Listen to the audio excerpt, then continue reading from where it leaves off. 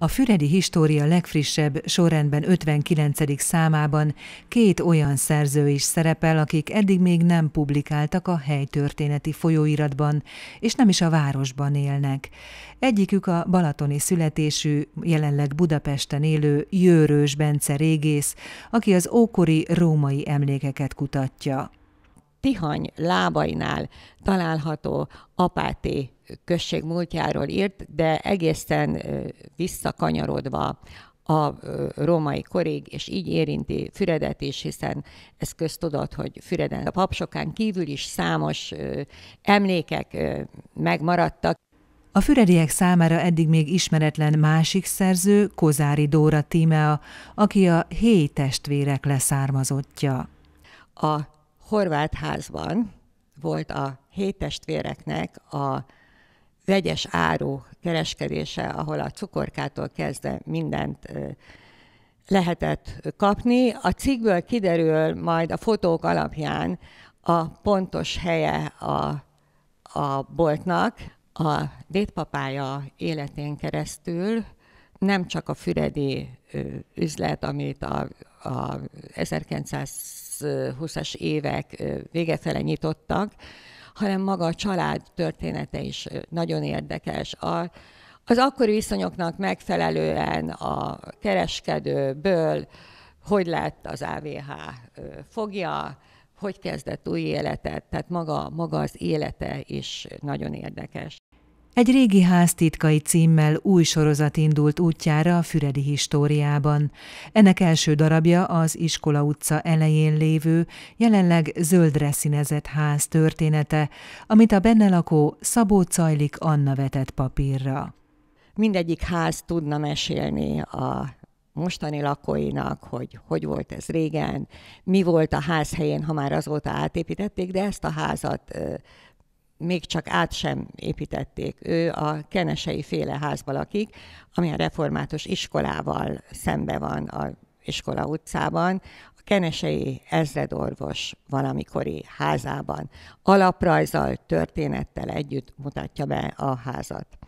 A helytörténeti gyűjtemény munkatársa Tóth Bence Tamás ezúttal sem mulasztotta el összefoglalni a száz évvel ezelőtti sajtó szemléjét.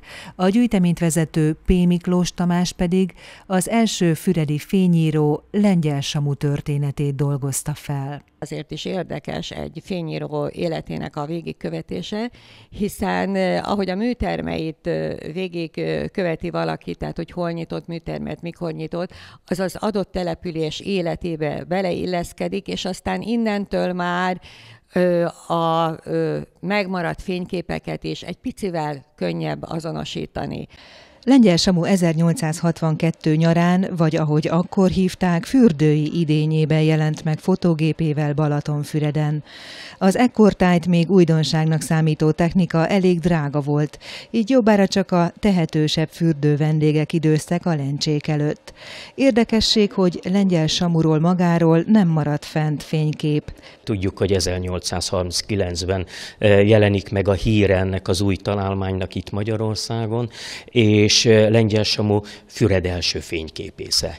1862-től fotózik itt lent a parton. Lengyel Samu 190 évvel ezelőtt született Sárospatakon. Gyógyszerészként kezdte pályáját, később került kapcsolatba a fotográfiával. Első műterme is Veszprémben ö, ö, állt a fényképezkedni vágyok rendelkezésére, majd utána, miután beindult a Veszprémi üzlet. Ugye hasonló üzletet látott itt Balatonfüredbe, hova jöttek a főrangú arisztokraták, polgárok, és hát ők fotózkodtak. A Balatonfüredi műteremben elsősorban portrék készültek. A 9x6-os méretű úgynevezett vizitkártyák gyakorlatilag névjegypótló fényképes kártyák voltak. Lengyel Samu 25 év alatt több ezer, talán tízezer képet is készített Balatonfüreden, amiből a helytörténeti gyűjtemény minél többet szeretne összegyűjteni.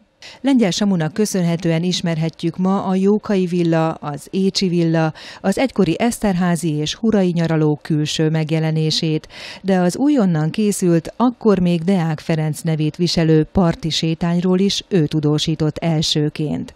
A fényképész 1885-ben megbetegedett eladta Füredi üzletét, de három évig nyaranta még visszajárt a fürdővárosba.